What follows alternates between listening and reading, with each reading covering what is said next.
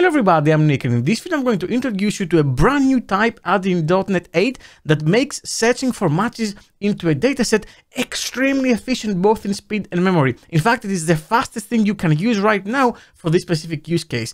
And Microsoft is using it extensively in both .NET and ASP.NET Core to make them way, way faster. Now, even though the use case for this is fairly narrow, there are many, many things actually you can adapt it into to greatly improve your performance. This is something that completely changes the game when it comes to this specific use case, and I think everybody should know that this is the thing that .NET now supports. In this video, I'm going to explain what it is and how it works, and we're also going to compare it with some other versions of searching for values into a dataset. If you like of content and you want to see more, make sure you subscribe. For more training, check out my courses on dometrain.com. Alright, so see what I have here. I have a simple console application running in .NET 8, and what I'm going to do is explain the example I'm going to be tackling here. And the use case I want to focus on in this particular example is trying to check whether a string we have is a valid base 64 string, meaning it only consists of base 64 characters. It doesn't have to be encodable or decodable. All we care about is do you support the 64 characters of a base 64 string. Now, just as a recap, these are the characters supported on base 64 from A to Z, all capitals, and then from A to Z lowercase, and then all the numbers from 0 to 9, and then plus, slash, and also the padding character, the equals character. And that is it. So what I want to do here is say that I have some example text, and let's say that the text is this, is this a valid base 64 string? In this case, it is because it only has characters that are included in this array and they're all base 64 characters. If we had, for example, the hat character or dollar sign, those are not supported, so this should not be a base 64 string. Now, a very quick and dirty approach of implementing this would look something like this. We would have a is base 64 a method, and then we would take this input over here, and I can say console.writeLine and print out the is base 64. And if I do that and I run this application, then I'm going to get false in this use case because we have these characters that are not supported. And all I'm really doing is I'm just iterating over the string because strings can be iterated because they're a collection of characters. And in fact, I could use if I want to a for each loop as well, or even turn it into LINQ, but I'm not gonna go into LINQ because performance characteristics change with LINQ. And if I didn't have these bad characters and I had something like this, for example, then this would be a perfectly valid base 64 string. It's not decodable, but that doesn't matter. It still consists of base 64 characters. Now, if you wanted to go a step further, you could actually improve this quite a bit. In fact, I could use spans to do the following. Say that is base 64 span, and then return the example text as span, and span as a read-only span of characters allows me to do the following. I can say index of any except, or I can say contains any except, but index of any except the parameters in this array over here. And then if that is minus one, then it is base 64, meaning there was no match. So if I use that over here, as you're gonna see very quickly,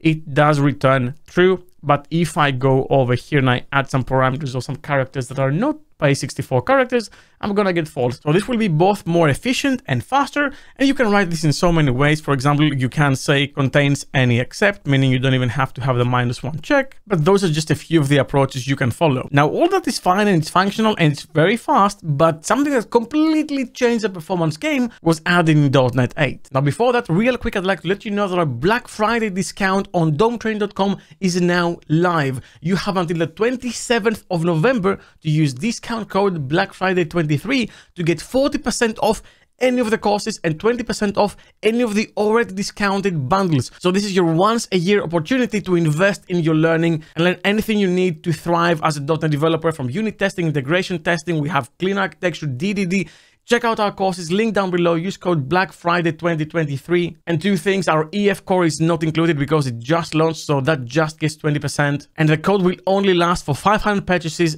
per course, so you might want to hurry. This discount has actually been in early access for some days now to my Patreons and our mail list, so make sure you subscribe to our mail list as well if you're gonna get these early accesses to discount codes. Now back to the video. Okay, so what was added? Well, I'm going to, instead of use an array over here of characters, I'm gonna just have a string representation of the characters. So I'm just gonna say base 64 characters is just this string over here. Nothing changes with the two approaches other than the thing that we're going to use has an overload to accept a string, which simplifies how to deal with this because then it means I can actually have a constant string and that comes with its own benefit. So what's the thing that was added? Well, what was added is a new type called search values. And I'm going to use search values of characters. Now you can have search values of characters or search values of bytes, which makes the use case a bit more limited. But since you have characters and bytes, you can use it in tons of places. And this is one of them. So I can say base 64 search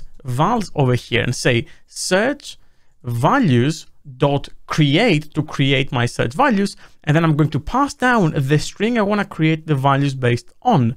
And of course I could use a character array as well if I wanted to. That doesn't change. There is an overload to accept a read-only span of characters, which means that both the character array and the string have implicit converters to convert it to what should be accepted here.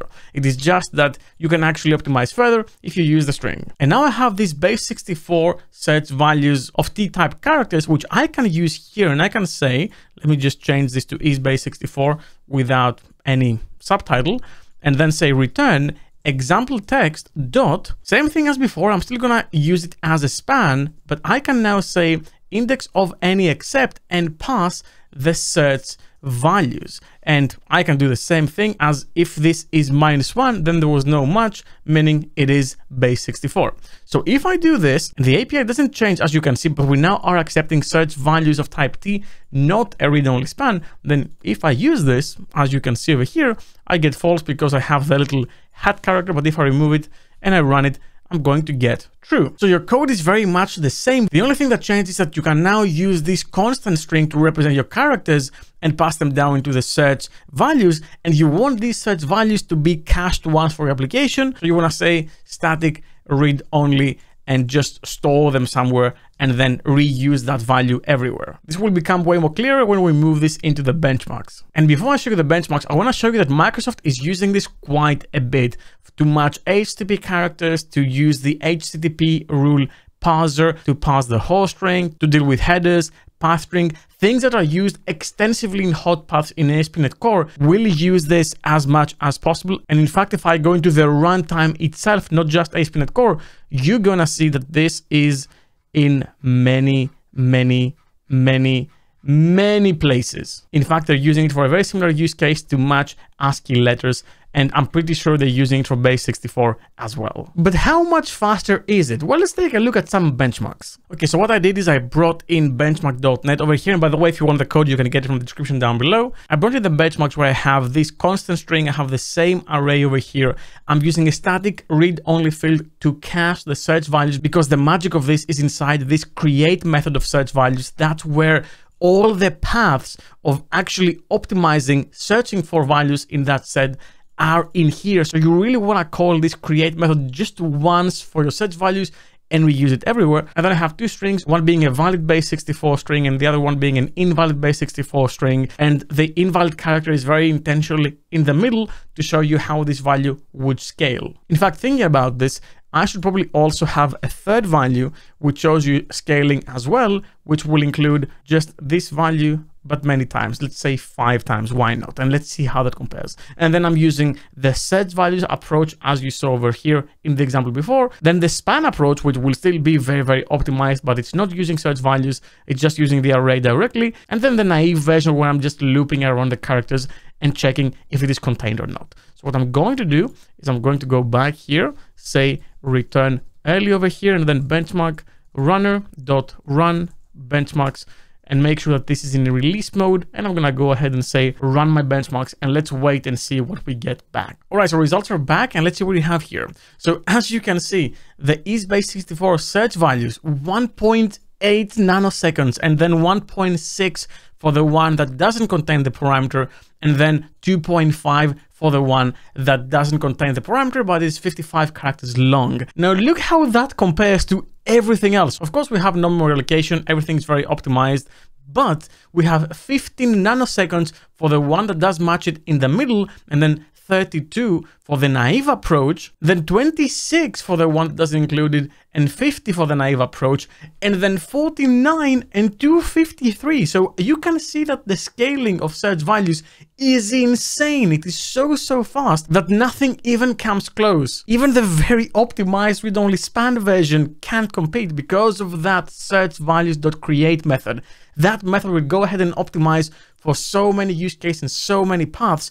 And Microsoft will actually keep adding things behind the scenes, as Stephen Toub has already talked about, to optimize these search paths even further. And if we go into that create method, you will see that search values is very optimized to the point where it takes into account the length of the values themselves. If it is one, then we do this. If it is two, then we do this. If it is three, this. And then if it is more, we optimize for further, for four, five, and so on. Then it's vectorizing as well if they can with hardware acceleration and so on. So as you can see, this is an insanely small type, but extremely efficient, which if you have a use case for, you really should be using. This is something I will be using quite a bit, but I really want to know your thoughts in the comments down below.